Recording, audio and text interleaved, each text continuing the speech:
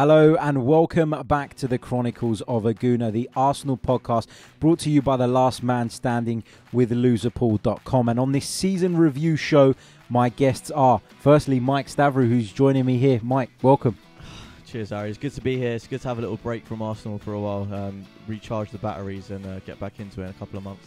Absolutely, absolutely. I can't deny I'm looking forward to the break myself. And also joining us via video link is Arsenal documentarian, filmmaker, uh, whatever you want to call him. He makes great Arsenal content. That's what matters. It's James Cook. James, welcome to the Chronicles, mate. How are you? I'm very well, thanks, Harry. Cheers for having me on, mate. You're welcome anytime, mate. You know that. Right, let's start off. Uh, we're going to review the season on this show, and I know there's lots to talk about. So to get this into an hour is going to be difficult, no doubt about that. But uh, I'm going to start off by getting a sort of opening statement from each of you. I want to know uh, how you summarise, uh, you know, this this season, Unai Emery's first season in charge. James, uh, if you want to kick us off, how would you summarise Unai Emery's first campaign as Arsenal boss?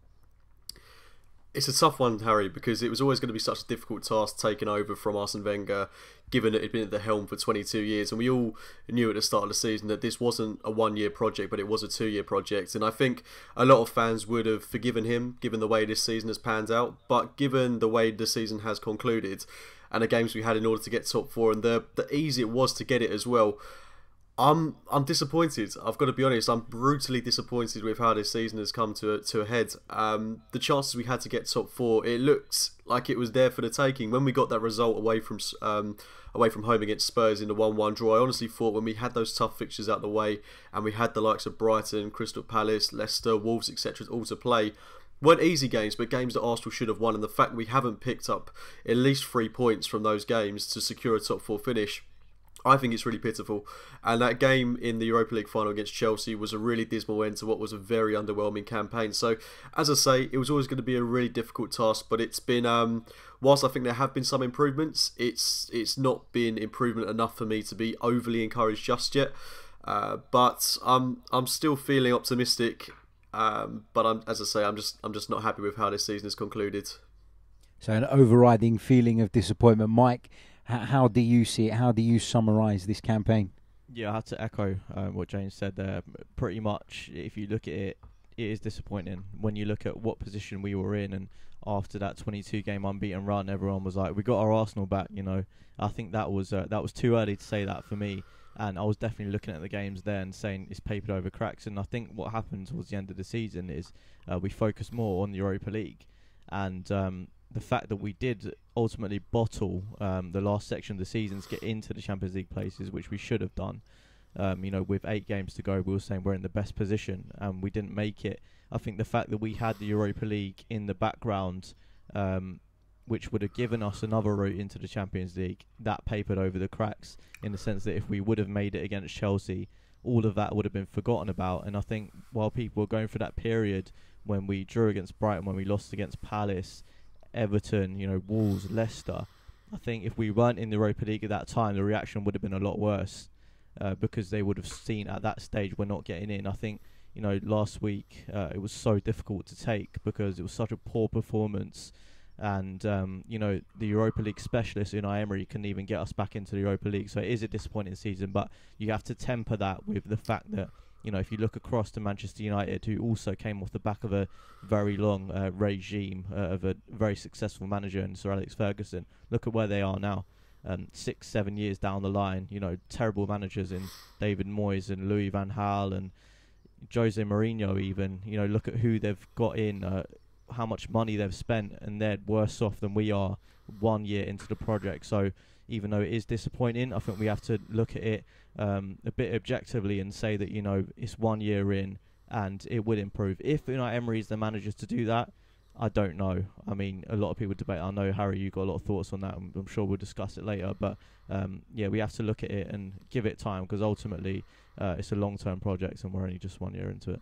Yeah, absolutely. I think to summarise, from me, I think I echo most of what both of you guys have said. I think that the performances at times haven't been great. I think there's been a small amount of progress, and and you know we finished on more points than we did last year, and so you can't take that away from Unai Emery. You have to give him that.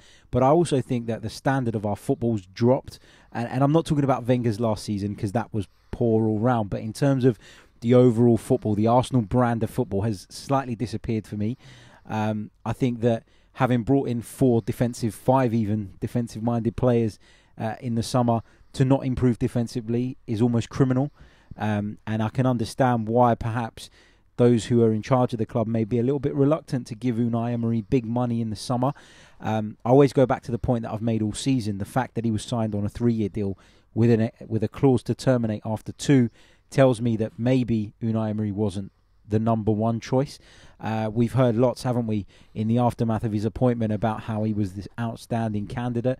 I'm not sure I buy that. I mean, I can't imagine the club coming out and saying, "Oh, you know, we tried to get X, Y, Z, but we ended up with with B," for example. It it just doesn't sit well with me. Um, but you know, ultimately, you guys are both right. The season ended in a really disappointing fashion. Our league form completely evaded us, and to lose in the Europa League final the way we did was really, really disappointing. It's not that we got beat for me; it's the way we got beat. And you know, I know people say you don't care how you win and you're happy to win ugly, but you cannot take a team going out there and being completely battered in a second half of a game that was huge. And people would talk about the atmosphere in Baku being bad, the fact that there weren't many supporters because of the travel issues, etc. It's not a valid excuse for me. So, I mean, uh, James, how would you rank Unai Emery's first season out of ten if you had to give him a score? That's a really tough question. Um, I think uh, I think I'd struggle to go any higher than a five. Um, I think, as I mentioned before, I was really excited at the start of this season, and I think we saw a new identity of football, especially in those opening games against Manchester City, against Chelsea, where I thought Emery was really brave to play the system that he did, and to give players like Matteo Guendouzi a chance in the first game. I was really excited by how pragmatic he was, and how exciting the football was that we played at times. I remember that game, one of our first away games at Fulham, and I really thought we were going to kick on from that and play that exciting, expansive football a lot more often. Unfortunately, that hasn't really been the case. Um, towards the end of the season, he does seem to have lost trust in some players. Mustafi's definitely been someone that he's lost a lot of trust in, and because of our defensive frailties, he's been sort of forced into playing this three at the back system, which is more of a five at the back a lot of the time.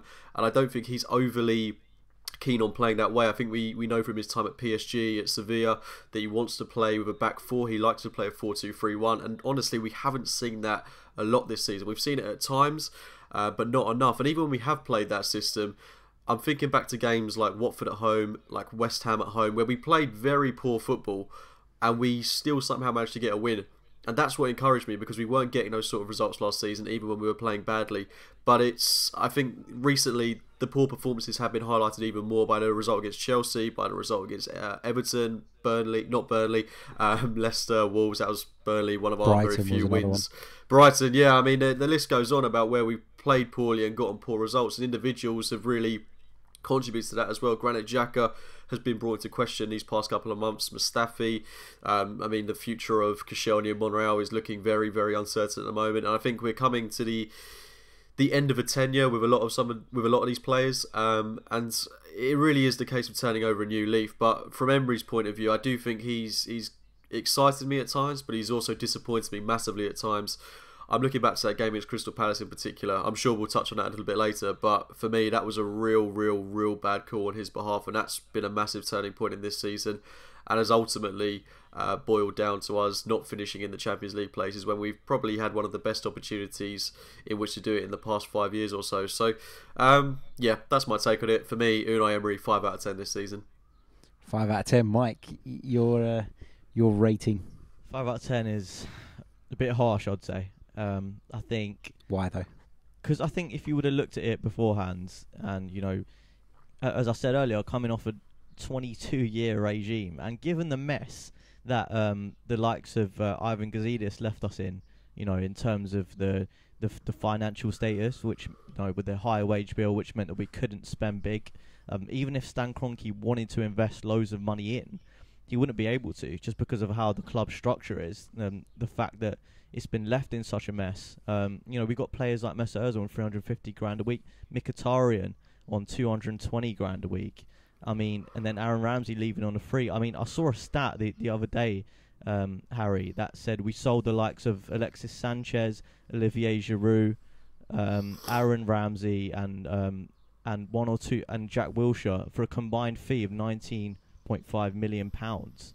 I mean, we could have got 40 million pounds alone for Aaron Ramsey, even more when you look at the performances he put in. It's an absolute mess financially. So for Unai Emery to come in off the back of that and do pretty much, I think, what we would have expected, challenge for top four and get us to the final. So I think it's about what you would have expected. I think I'll give him about a six and a half. It would it, Okay. it would have gone up to about a seven uh, if we would have won it and been back in the Champions League because that would have been a good achievement. But obviously, it's a bit disappointing. Um, I think five's a little bit harsh. But then, think so six and a half. so you're saying that the difference between making the Champions League and not making the Champions League is only half. So between six and a half and seven, yeah, you I wouldn't mean, bump you know, it up more, or you wouldn't start lower and bump it up more. You you think that?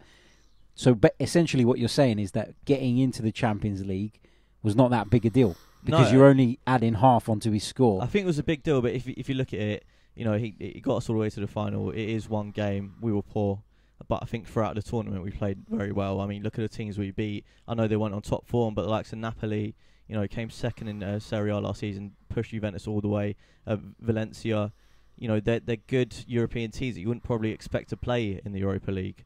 Um, and you look at uh, like how we did last season, we got smashed by Fleck, Atletico Madrid in the semi-final. I think it's it's around about what you would have expected. I don't think it's a massively, um, you know, terrible job. Like, of course, we should have finished in, uh, in the top four, and I think it's very disappointing to to not get there. But then you look at some of the form in the earlier part of the season, and it was very good and more than you would expect. And we were starting to play a brand of football. But um, I think about six a six and a half is about fair for me. What what happened to that brand of football though, Mike? Because as James already mentioned, when Unai first came in, he was excited by the pragmatism. He was excited by the different style.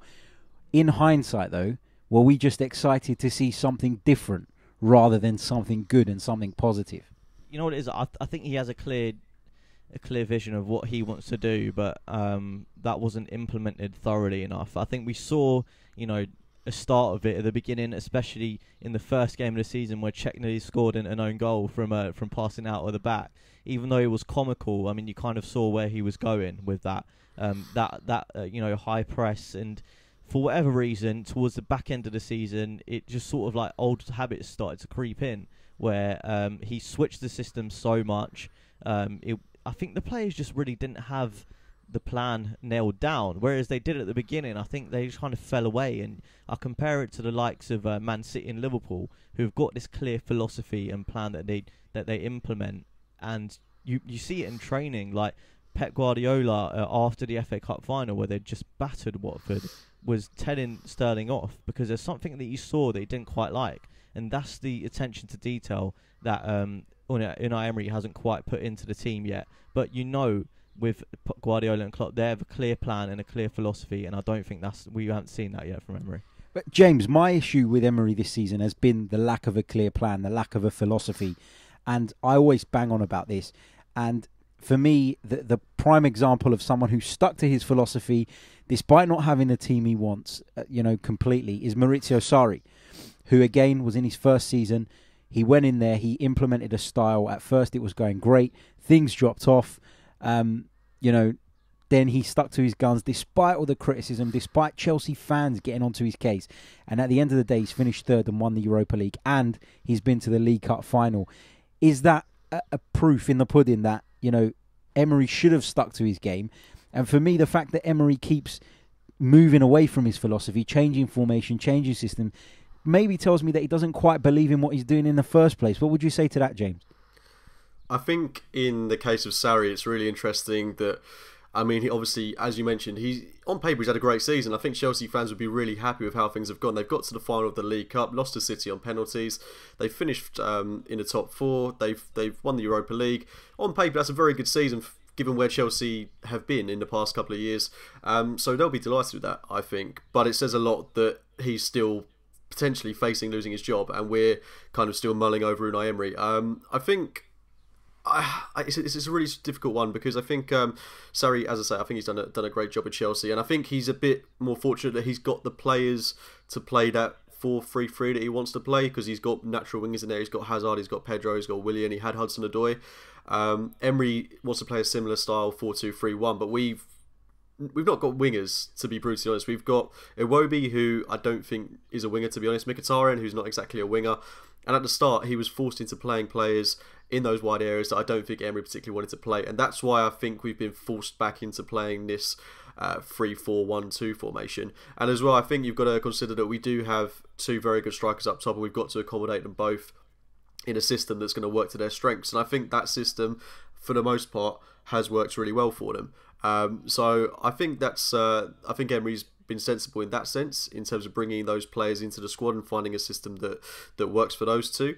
Um, but as well, uh, it hasn't really been. Um, it hasn't really been what he initially set out with. And I think next season we'll see improvement when we see Reiss Nelson come in, when we see hopefully some uh, investment in the summer. We can bring in another wide man, but I mean it really does make you wonder what's going to happen with Aubameyang Lacazette because will Aubameyang be shunned out wide again where I don't think he performed that well throughout the start of the season um, will I mean one of them even be at the club come the end of the transfer window it's it, it it's really one that's going to be up for debate but um, yeah I think uh, I think you make a great point there and I, I do think it's overly been a case of Emery's having to deal with the tools that he's got at his disposal Okay, interesting stuff. Guys, we're going to take a short break and we'll be back in just a minute.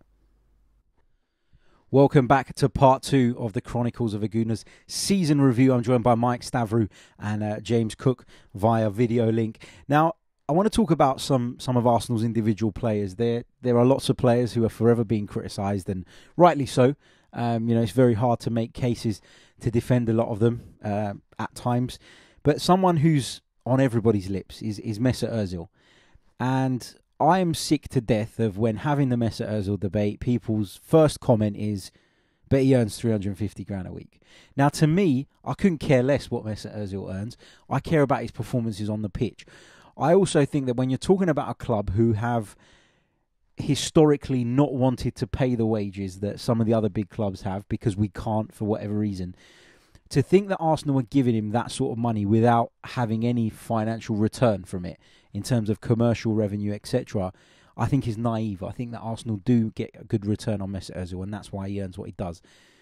Mike, where are you on the Ozil debate? Would you keep him? Would you do whatever you can to offload him? There are reports floating around that Unai Emery's told the club to get rid of him. It's just reports at the moment, but what's your take on the Ozil situation? What's the solution? What do we do going forward?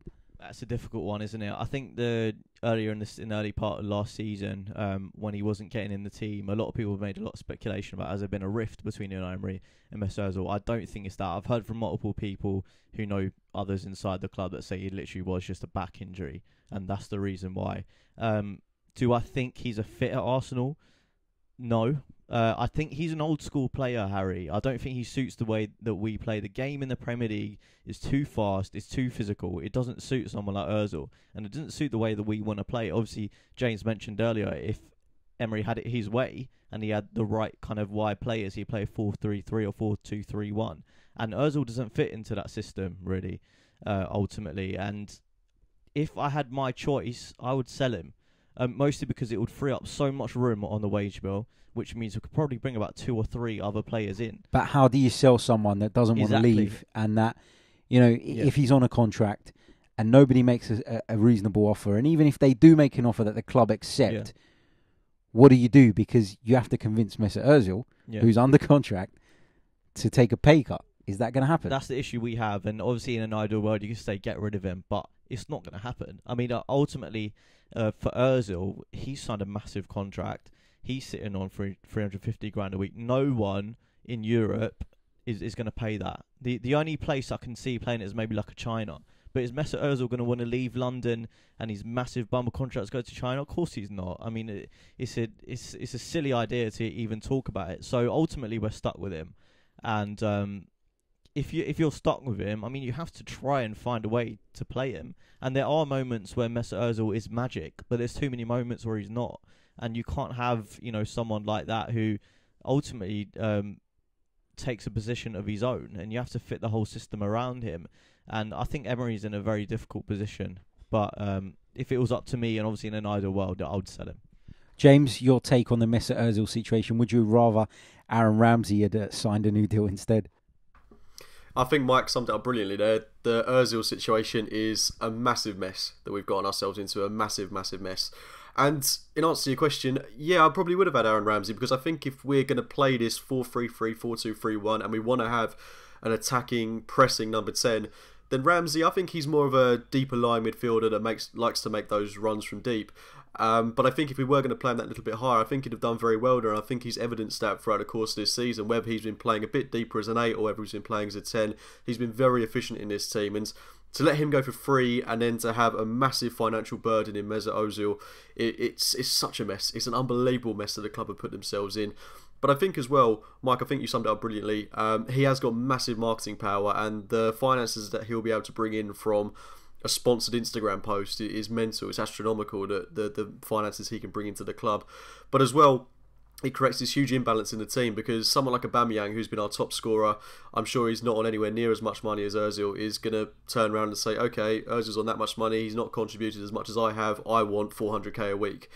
It could potentially happen. It's not something that I want to happen. I don't think anyone wants that to happen. But whilst we've got this imbalance in the wage structure, it creates that sort of that sort of discontent within the team. So I'm a little bit concerned on that front, and I do think we're really going to struggle to get rid of this guy um, this summer. And I do think he is going to eventually see out his Arsenal contract because I can't think of any team in Europe that's going to pay £350,000 a week, and he's not the sort of player that I think is going to take a pay cut anytime soon. So the only realistic proposition is China.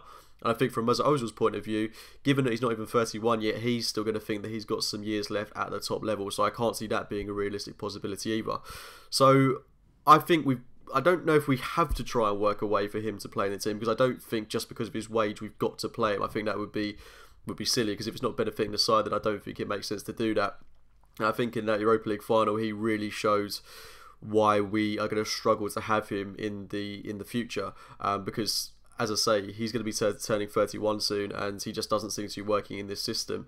I think it says a lot as well that at the start of the season he wasn't getting in the team, and then he had that period out, and then he came back into the side, played really well for a couple of games, and everyone was saying, "Look what Emery's done. He was really clever to leave him out the side, get him up to the way he wanted to play," and, and then having established himself back in the team again, he's gone back to the lackluster uh, player that we were seeing earlier on in the season. It's not something I want to say about Ozil because on his day we know how fantastic he is and he's got to be one of my favourite players in the last five years or so at Arsenal. Um, I think when we had Ozil, uh, Ozil, Walcott and Sanchez all in the same side in 15-16, he showed what he was capable of.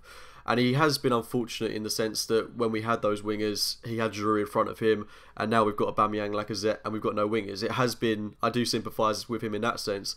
I think next season where we've got proper wingers in the side, hopefully, fingers crossed, we've got to try and find a way to accommodate him with those players, and maybe we'll see a different Mesut Ozil. If we don't, then he'll be 31 years of age, and we've got to move on, and we've got to find a way to get rid of this guy. But I don't think it's going to be by cutting his contract short, because I think that will cost us about 35 million. So financially, that's not an option.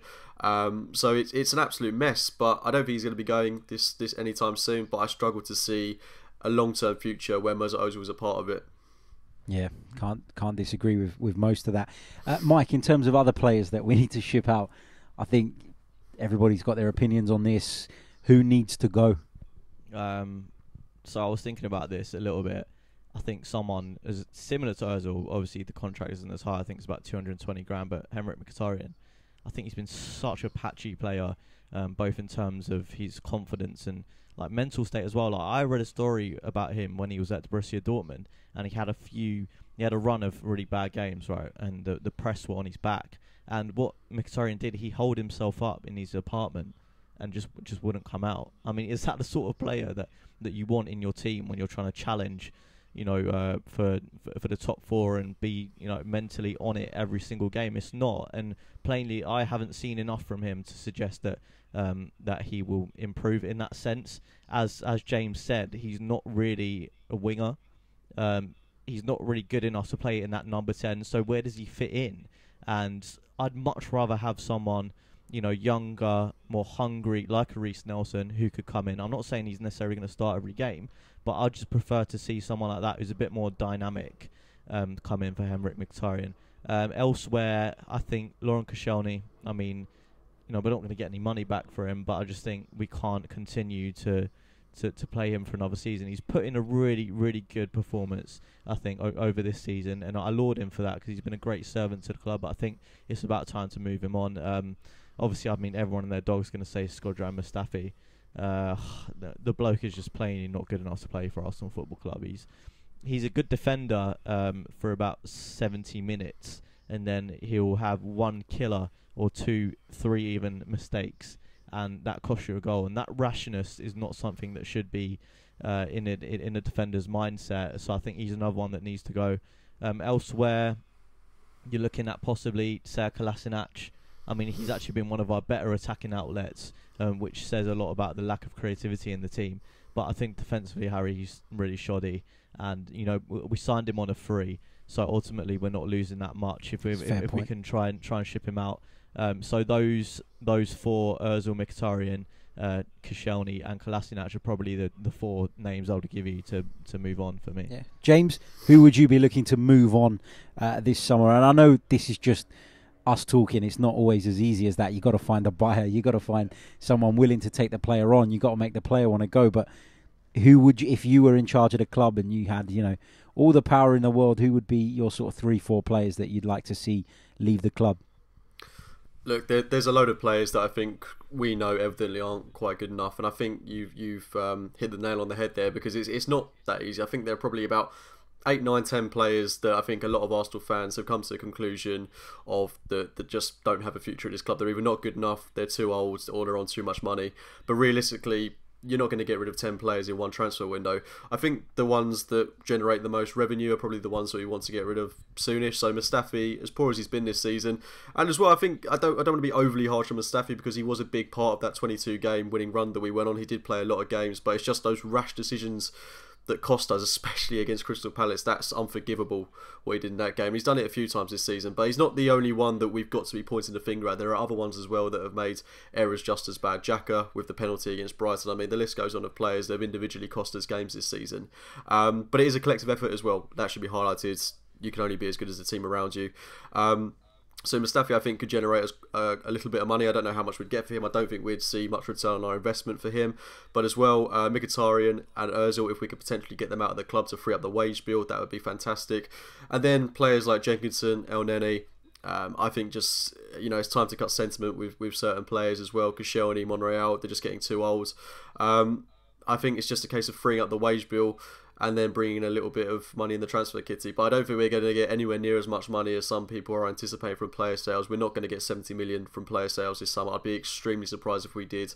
And given the evidence that we've seen from uh, previous player sales, um, Wilshere, Alexis Sanchez, um, Giroud, etc., we're, we're going to generate very little money, and I don't have confidence in the people upstairs to, to get that revenue in. I don't have confidence that these players are entirely um, happy to leave the club. So it's going to be a really sticky situation, um, and it's not. It's going to be a really long and drawn out summer. But yeah, um, I think those players that I mentioned are the ones I'd like to see leave the club as soon as possible. Yeah, I, I think I agree with both of you. I think there's a lot of players that you you could see potentially shipped out of the club. Whether it's as easy as that, I'll make that point again. I don't think it's that easy. I think players that, and this is a really unpopular opinion, but I think that there is a player in Mustafi somewhere and I think that in the right defence with the right partner, he could be half decent. I genuinely do believe that. I think there is a player in there somewhere. I also think that Granit Xhaka takes a lot of stick. In the right team, with the right balance, with the right partner, could be more effective than he is currently. And I think a lot of it is that we've kind of, over the years, we've been mixing and matching players without having a real long term plan, a real idea of what it is we want to achieve. And as a result, we got lots of pieces that just don't fit together. I don't think these players are necessarily bad individuals. The fact that we paid so much money for some of them and and what they do um, or what they've done previously or where they've been on the international stage. For example, Xhaka is the captain of Switzerland. Mustafi's won a World Cup. So what I'm trying to say is whilst they have underperformed at Arsenal, I, I do think that they've been misused at times as well. And that's not just Unai Emery's fault. I think Arsene Wenger's guilty of the same thing as well. But I do think that we need to forget about this notion of, yep, we're going to get 30 million, 20 million for Mustafi. It's not going to happen. So either you try and get the best out of him, you try and make, you know, the most of your investment, or you just say forget it and you just leave him out of the team, cut your losses, and get on with it. And I know it's a very difficult position to be in as a club because financially the club is restricted. And I think the first sign that we saw of this whole situation that we're in was the fact that in January, when we quite clearly needed to strengthen to push on, we went and got Denis Suarez on loan. And, you know, for me, that made absolutely no sense. What did we bring him for? We brought him to Arsenal to have a holiday.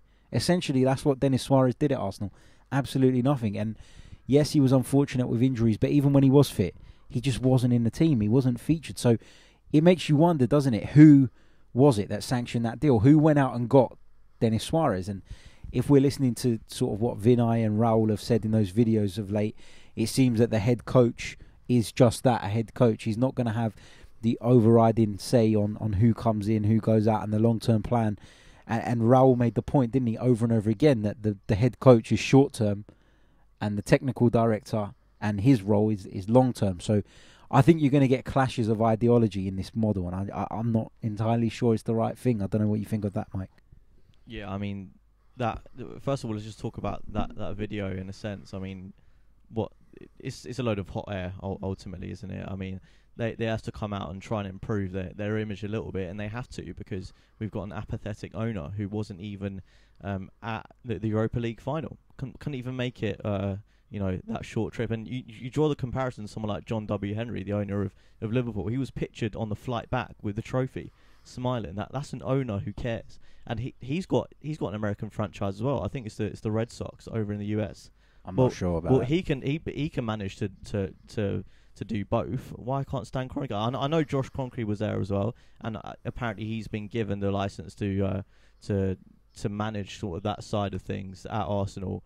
But still, it just makes me think back to what a mess it is in the entire the entire process and structure. And I don't think we've actually sorted out our technical director yet. I think there was there was rumours of, of Edu. Uh, I, I don't know if that's been sorted out or not. But ultimately, you're getting into the stage now where those deals should be being finalised.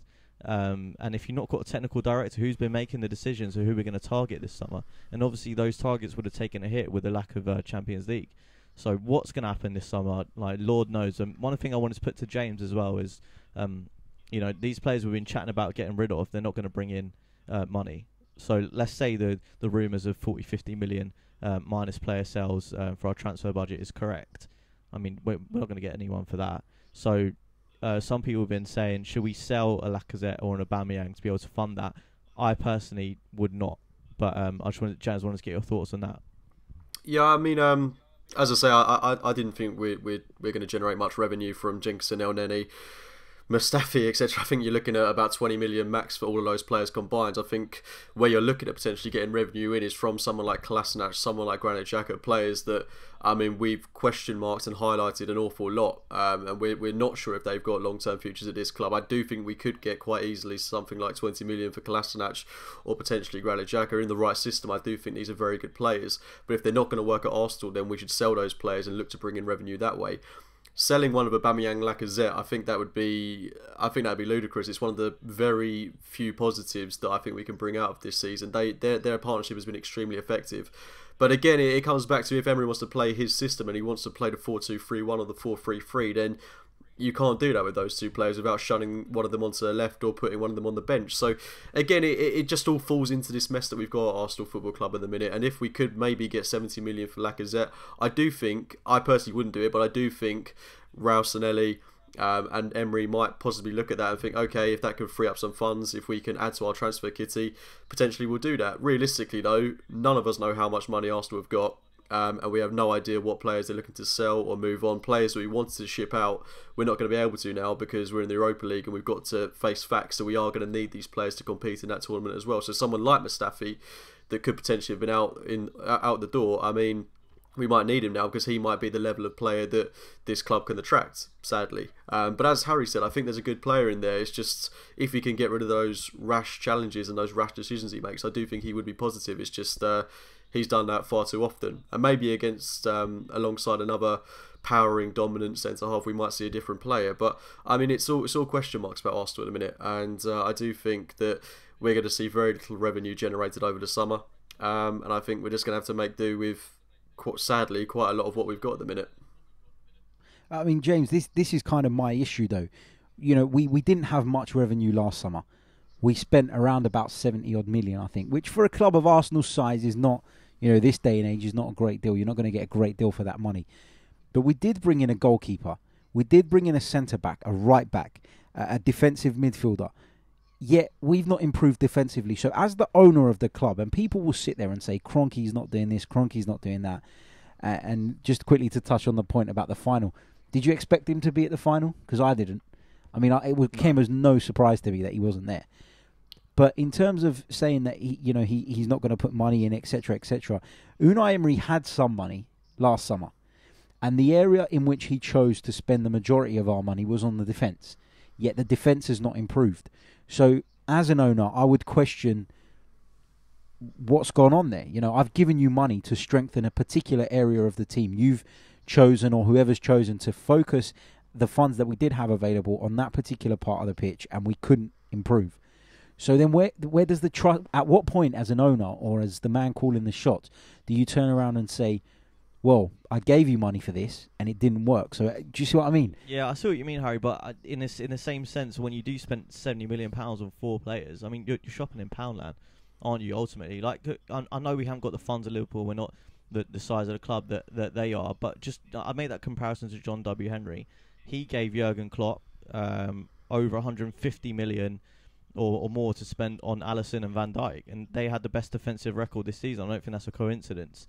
Um, and then you look at brought in, Sokratis, who is a decent defender, but ultimately, you know, you wouldn't see him, I think, fit into any other top six side. Uh, Leno, who's a promising keeper, but again, as we've seen this season, makes mistakes.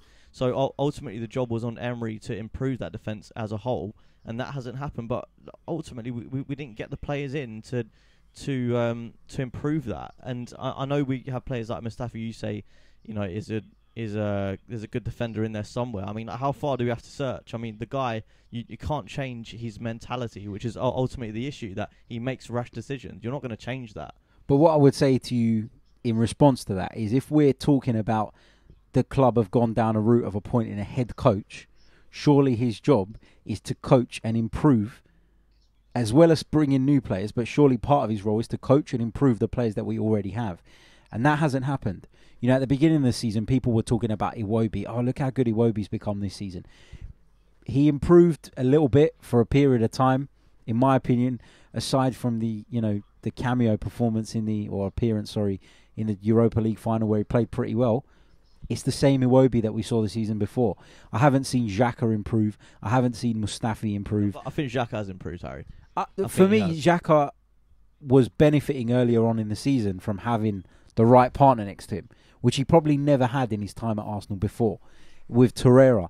And then Emery chose to disrupt that period by bringing in Guendouzi, by bringing in, you know, all all different sorts of combinations that just weren't working for me.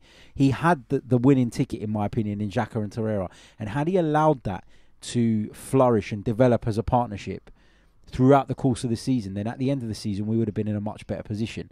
But how many times did we see Guendouzi included instead of one of them? Did we see Ramsey dropped back into that role? But then, then you ask the question of why at the start of the season, when we were struggling for experience, was Aaron Ramsey left on the bench? There are so many questions and so many things that Unai Emery's done this season that I can't get my head around. And there are many times in football where you look at something and you say, I don't particularly agree with that but I can see why he's done it. Take the Champions League final, for example. We were talking before the game, and I said I wouldn't have started Harry Kane. How fit can he be? They've done well without him up to this point. Why would you bring him in? But on the other hand, I can see why Pochettino started him because if he didn't and Spurs lost, everyone would have been like, well, you know, you left out Harry Kane. So uh, there are times where you can see something that you disagree with, but you get the why. And I don't get the why with a lot of what Unai's doing. Yeah, I see what you mean. And purely, you know, you're you're, you're ultimately your your question, Emery, where, where he's the right man. I think purely he's he's a stopgap. I think uh, at the end of that regime, we had to bring in someone who was going to stabilise us. Um, we haven't got worse. I mean, it can get bad. I mean, when you get a manager like uh, I keep going back to Man United, but you have to make the comparison. Look how poor they've become because they chose the wrong replacement in David Moyes. We we haven't done that bad. I think we've been stabilised. Is he the manager that's going to take us back up to the top? I don't think so. But I think he'll probably see out his two seasons and we'll go and get someone else. I think the next appointment that we make after Emery is is the vital one. We need someone a bit younger. Uh, who has new ideas, a new philosophy, and the word that I keep going back to. And when you talk about Chelsea, when you talk about Man City, you talk about um, Liverpool, you see the identity. Uh, ultimately, all these managers have an identity. Um, whether it's Man City, um, uh, Pep obviously has his clear philosophy. Klopp does, Sarri does, and we need a manager who's going to come in and implement that and stick by it. And that's the, that's the point I think you're trying to make, where Emery maybe doesn't have that, or maybe he's still trying to figure that out. But that, that's what we need, and that's the only thing really that's going to take us forward. Yep, absolutely, guys. That brings us to the end of part two. We'll be back uh, in a minute with uh, part three, the third and final part of this season review. Cheers. Welcome back to the third and final part of our season review. Joining me, Mike Stavrou and James Cook uh, via video link. James, I'm going to start with you uh, on this segment. The big question is now where do Arsenal go from here? What's the right move? How? What's the right approach? How would you go about uh, planning for next season? Great question. I think come the end of the season, the um, the owners are going to sit down and have a look at what we've achieved, what we've done, um, and I think you know, ultimately, this is a two-year project. Uh, Raul Sanllehi highlighted that an awful lot in his interview that this is not a one but a two-year project. I think a lot of Arsenal fans at the start of the season were very sympathetic and very understanding that if it wasn't going to happen this season, then Emery's at least got next year in which to do it. I think with a bit more investment and getting the players in that he wants to, to, to play in the system that he's he's used to, uh, maybe we'll see that identity come through. As I think you mentioned a little bit earlier on, I'm I'm a bit concerned that we haven't really seen that philosophy just yet. I don't know any other manager in the top six that chops and changes as much as Emery does. It does. I don't want to say he's a little bit clueless at times, but I do have definite concerns that he he is a little bit too pragmatic. Um, I mean, what I like about a Liverpool, for example, is that they've got a very settled team, a very settled defence, a very settled front three. But they do make those changes in midfield every so often, where it's kind of a like for like. They'll take out Henderson, bring in Milner maybe take out Fabinho, bring in Wijnaldum, and they've got a very good system of players that I think um, does work well here, and they've, they've all bought into the philosophy that Jurgen Klopp has installed in that Liverpool side. And as you mentioned before as well, I'd like to see a bit more coaching from Emery. I want to see players improve significantly. I think the Liverpool model is a great one because they have brought in players like Robertson, like Wijnaldum, like Matip, that Klopp has taken from one level and brought them up another one. And I think it's fantastic the work he's done with some of those Liverpool players and then brought in financially. Obviously, he's been backed as well. That shouldn't go unnoticed. But they have then added the likes of Van Dijk, Salah, etc. And they've bought shrewdly as well. Salah, 35 million when they got him. I mean, his price must have about quadrupled now with what he's bought. And I think we've got to be quite similar in the transfer market because um, I think we've got to keep some of the players that we, we look to get rid of. As I mentioned before, I think Mustafi Mustafi's going to be one of those players. Uh, Xhaka, Kolasinac, I don't see them going anytime soon, to be honest. Um, I do think that we're going to be looking at a team that consists of players from last season, and I do think we've got to bring in players that are that are shrewd in the transfer market. I say that in the sense that we've got to be shrewd, and we've got to bring in players the likes of Torreira that we can get for about 20, 25 million.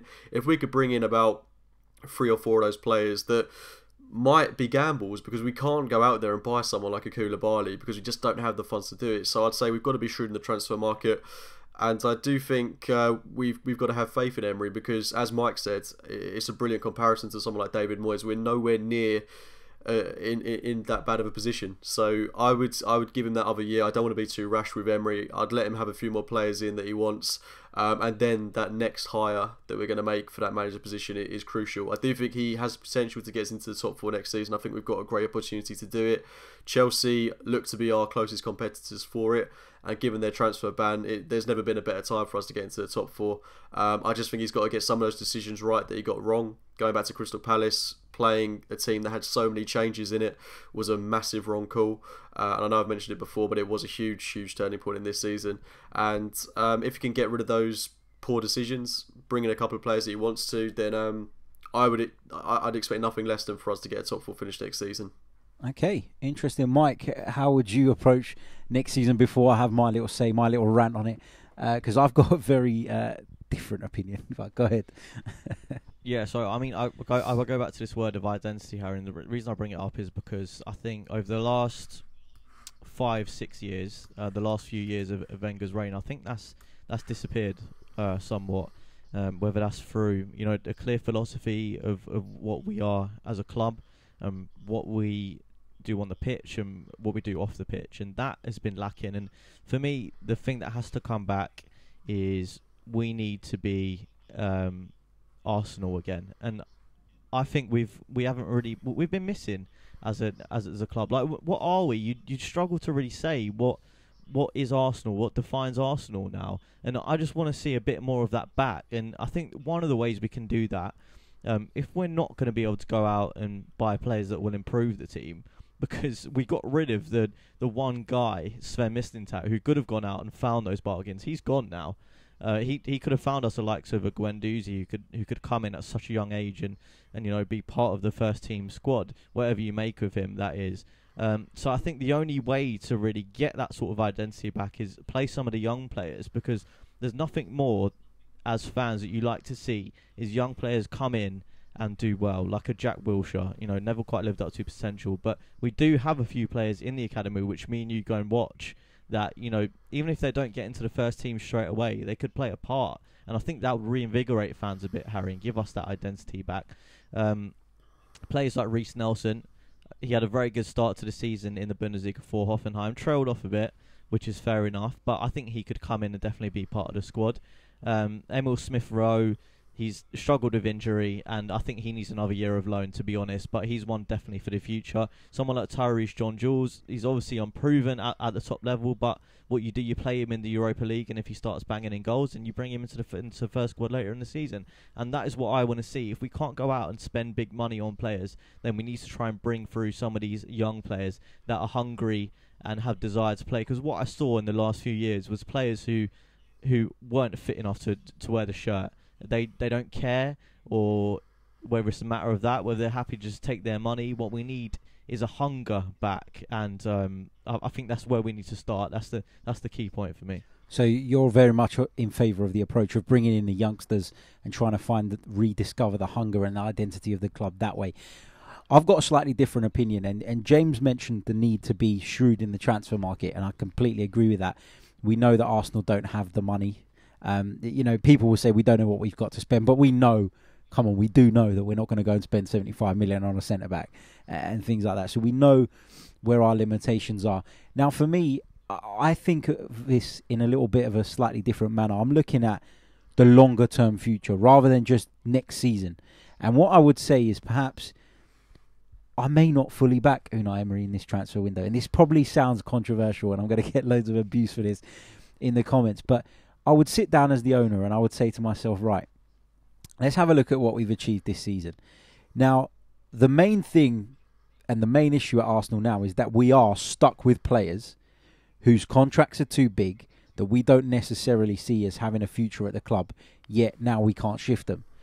So would I go and give Unai Emery more money to go and get more players potentially that would be in the same situation, players that are not fit for purpose, yet we're stuck with.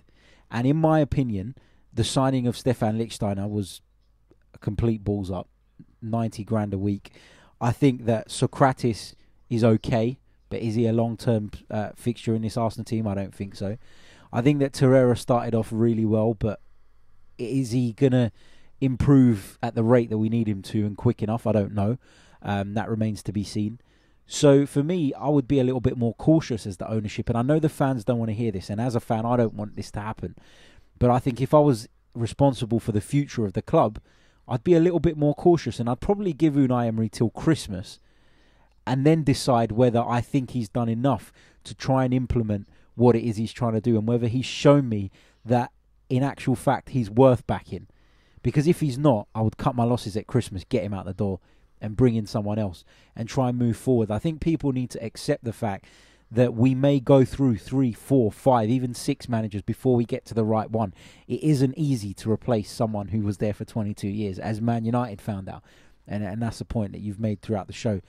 But I just think backing him with the maximum that the club has at the moment is a little bit irresponsible given that we haven't, in my opinion, seen enough to suggest that he is the right man. I, I don't know, James, have you got any thoughts on that? Yeah, I, I mean, I think it's a great point as well. Um, but I suppose people would say that we're not going to see the best out of this team until he's he's been backed properly. And if you give him, I don't know, if Stan Kroenke was to go crazy overnight and inject 200 million into this club, and Emery could buy the players that he wanted to, I've got no doubts that you'd probably see a more uh, identifiable Arsenal. You'd see a philosophy in place, and you'd see you, you would hope to see a better style of football. Um, but I think given the situation we're in, where we've got limited funds and we're one of the only clubs in the world that's completely self-sustaining in the top six, which is mental. Um, I, I think uh, the club won't give him all the funds that, that he wants. And I do think they'll probably give him a portion of that transfer kitty to bring in players that I think we need. So I do think he'll he'll have the funds to bring in wide players and hopefully a centre half as well because we desperately need that. But apart from that, I don't think the club are going to release all the funds that are available to us. Of course, throughout the, throughout the season, we're going to generate revenue, um, and if we do bring in player sales, and that's a bit more transfer kitty that we've got, and there will be money there next summer as well. And Stan Kroenke always has the option to put in money to this club because, as I say, we're self-sustaining, and he's not put a penny into Arsenal yet, so he, we do have that option if uh, the tide was to turn. Um, and Kroenke was willing to put a bit of his own uh, personal cash into into Arsenal. Um, so I, I, don't think we're, we're going to be in a situation where we see Arsenal spend a lot of money. Uh, I think we'll see us be shrewd, as I say. I think we're looking at Arsenal bringing in a couple of the young players. So Willock's had a lot of chances in the first team this season. I say a lot. He's had quite a few limited chances, but when he has played, he has played well. We'll see a few of the players like Reiss Nelson, Smith Rowe come through into the team. I think, and then I think on top of that, Emery will be given probably a maximum of 50 million. Um, possibly, I'm not too sure. I, I, honestly, I can't put a, a figure on how much we're going to have to spend. I think it's all it's all objective, and we're going to have to, to wait and see how it pans out. But I don't think, in answer to your question, the club are going to release all the money that we've got available to him if they're not 100% certain that he's the right man. Absolutely, Mike. Your response to that? um, yeah, I get where you're coming from, Harry firstly, I just think we don't we don't have that money. Like it's not like we're gonna say, all right, you know, here's hundred million. I don't think. I, but I but, but if there was seventy million, yeah. Do you think that Unai would get all seventy? Well, I think million? it's a bit of a catch twenty two because um, ultimately, if you want a manager to um, to implement his philosophy, you need the right players. And I know what you mean in the sense of like we we haven't seen what it is, and it is quite confused what his what his own uh, brand is, right? But if you don't give him the players, then we're just going to be stuck in the exact same uh, situation that, that we are. Um, so it is a catch twenty two, as, as I say. You know, having to put square pegs in round holes, which is what we've had to do this season. Emery wants to play the four two three one. We don't have wingers, so, so we've had to switch it to to a three back where where Aubameyang and Lacazette play in a two. I mean, that's not what he wants to play. So I do understand where you're coming from. I just question whether you're going to keep going round and round. Like, do we give him the money, or or do we not?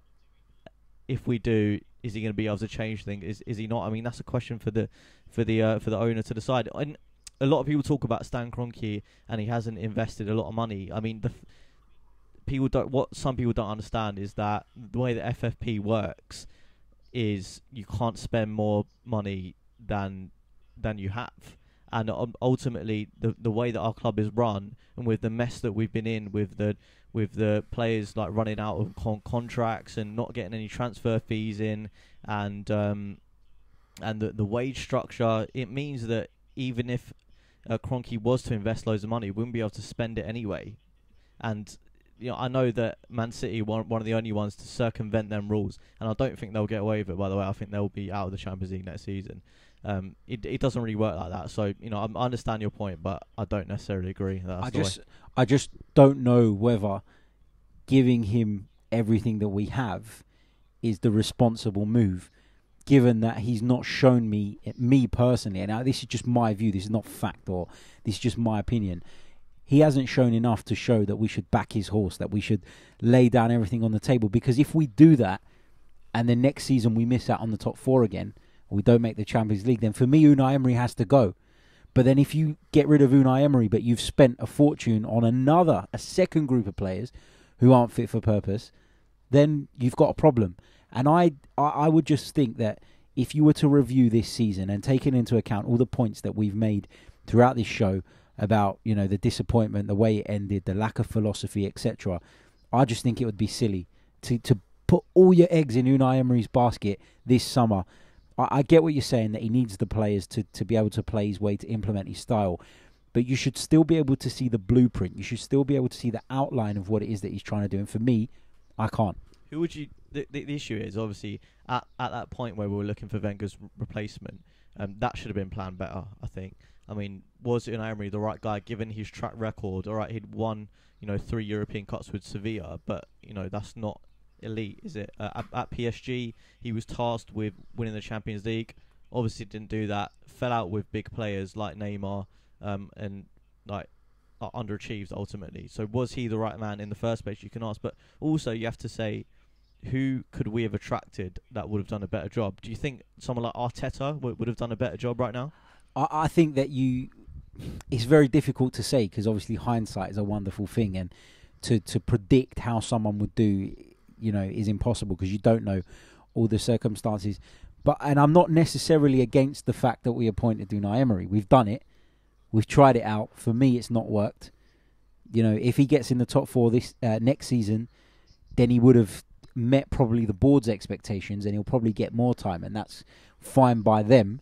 But my point has always been that expectations adjust throughout a season, and this season we had a glorious opportunity, not once but twice, to get in the Champions League. So as far as I'm concerned, his failure to do that is a failure. Yeah, the only issue I've, I have with that, Harry, is that look, when ultimately the the state that we're in, we're not going to get an elite manager, right? We can rule that out. We're, we're not going to get the likes of a Diego Simeone if he was to leave, um, a Max Allegri, he'd want too much money. So we're shopping in that mid-range market, which is where Unai Emery is. The only other option is to get someone younger, like Arteta, or someone of that ilk, maybe like a Julian Nagelsmann who's slightly higher and further on in his career. But if you do that, you have to accept that it's going to be a long haul. And fans, especially Arsenal fans, given the absolute outrage at this season's results, I mean, it'd be even worse if you get someone like that because ultimately they're very young in their coaching career. They don't have much experience. You can expect maybe for us to drop below the likes of the Wolves and the Leicesters, maybe into about an eighth, ninth position, and that might carry on for a while, especially if he doesn't get backed. So I think fans need to sort of make a decision in that sense what they want. Do they want someone to sustain us and keep us competitive, which Unai Emery is almost doing. All right, he didn't quite achieve it this season, but next season he could. Or do you want to give time and patience? Because let's be honest, Arsenal fans are not a patient bunch. No, I agree. Uh, James, uh, how do you see that one? For me, uh, you know, I would accept a, a little bit of time, uh, you know, where we're out of the top four if I could see the long term plan. And I know I don't speak for all Arsenal fans when I say that. I'm talking my own personal view, but wh- where do you stand on that? Would you take sort of dropping out of the top six potentially for a couple of years to give someone a chance to build us up from scratch, or or do you think that it is we're going to just have to keep chopping and changing the likes of Unai Emery and people around his sort of bracket, and hoping that that's enough to keep us there or thereabouts? Look, in, in this day and age, you don't really have the time to let someone bed in, um, and you, you can't really say, look, we're going to sacrifice three or four years outside the top four, so long as you get it right on the fifth year. That's that's just not going to happen. Um, there's so much money in the game at the minute that getting those top places is essential, and I just don't think that Arsenal as a franchise are going to be willing to do that. I don't think any real top six club are going to be wanting to do that. Everyone wants immediate success, and unfortunately, there's no patience in football anymore. So I don't think that's realistically an option. I do think the club is going to have to, you know, put their eggs sort of in, in one basket with Emery. I don't know if you've seen the interview that Vinai and Ralston have done on YouTube where they talk in depth about the appointment of Emery, about letting Ramsey and Welbeck go for free, about the situation of the club, etc., etc. Where they talk pretty much about everything that Arsenal fans want to hear, which is is great from their point of view. I don't know how much of it is true or not, but it does seem like a load of hot air to me. Um, but they do talk sort of in depth about how much faith they've got in Unai Emery, and if they're going to put their money where their mouth is, I know it's not their money, but they've got the power in which to do it. If they want to fully back this guy and give him the finances to do it, if they've got as much faith in him as they say, then they will give him that money in the summer to invest to build his own philosophy. I do think we're in an era now where, I mean, I don't think I kind of know that we're in an era where there's only real limits to managers where it's about two or three years at a time. I think uh, Klopp is even an, an, exception to that at the minute, where he's been in the job at Liverpool um, for about four or five years now, and uh, that's that that's great from their point of view because they've got an identity. And why would you want to get rid of someone like Klopp, especially whilst it's working? On that side, though, I do think it makes sense that. Um, they, it took them a couple of years to really get going. Uh, of course, they got into the Europa League final in Klopp's early days. They lost that, and you could see significant improvement in that Liverpool side, which I think was really, really encouraging. And then they, they got back into the top four. in a couple of years. If Emery can do it in this second season, um, and if we we see significant improvement, then we might eat our words about what we're saying about him right now. So I think it's definitely something that's going to prevail over time. Um, but from what I've seen this season, it's the decisions that he's made that have really cost him at times. Um, but if we can learn from from what Klopp's done, I think it's important that we give Emery a bit more time and don't be rash in this instance, and hopefully uh, we'll we'll see significant improvement. James, I see what, what you say there, but I think the, the the sort of obvious comparison between Emery and Klopp is that Klopp w- was a winner. I mean, he'd won the, the, the German league against all odds, um, got into a Champions League final. Uh, he was a proven manager with a proven track record. Emery doesn't have that at that level. So I think you know we, we, need to take that into consideration. The reason uh, Liverpool willing to back Klopp is because they knew eventually the plan was going to prevail, and it has. They won the Champions League, but they did go for a few years of um, of turmoil. Really, you know, when, when, you look at how much money they spent. I'd call the, it the transition, transition, rather than turmoil. But I, I don't think uh, Emery's at that level. So I think al- although you do have to have patience, as Harry says, you need to see what he's done and the blueprint, which is obviously not quite there, and make that decision. But as as I say before, it's such a difficult situation because we're not in the position that Liverpool are. We don't have that sort of money, and at, at the moment, I don't think we can attract that sort of manager like Klopp or, or, or someone of a similar ilk to be able to come in and do that job. Great points made by everybody, and uh, guys. Unfortunately, we're going to have to call it a day. That brings us to the end of our season review show. But as there is a long summer ahead, there's lots to discuss, there's lots to dissect. So we'll be back throughout the summer with more content, looking back on last season, what went wrong, what went well, uh, and looking uh, at the way forward for our beloved football club. Uh, James, thank you very much for joining us, mate. Do you want to let our listeners know how they can uh, find your YouTube channel and follow you on social media? Yeah, of course. Thanks for having me on, Harry, and um, great to chat with yourself and Mike this afternoon. Um, you can find me on Twitter at jecook96 and on YouTube AFC Game by Game. Great stuff. Thank you very much, James. Mike, do you want to let people know how they can follow you? Yeah, on Twitter it's um, Mike underscore Stavrou. For those of you who aren't Greek and probably struggle to pronounce that, let alone spell it, it's uh, Mike underscore S T A V R O U on Twitter. Yeah, that's that's one of the easier Greek names to be fair. I've got to say, uh, guys, don't forget to follow us at Chronicles underscore AFC. Subscribe to this channel. Hit the little bell icon as well for a notification every time we upload. Of course, this show is available on iTunes, SoundCloud, Spotify, and all the usual podcast uh, stores too. If you're watching the video, hit the like button uh, and leave us a comment below. Thanks very much, and we'll be back very, very soon.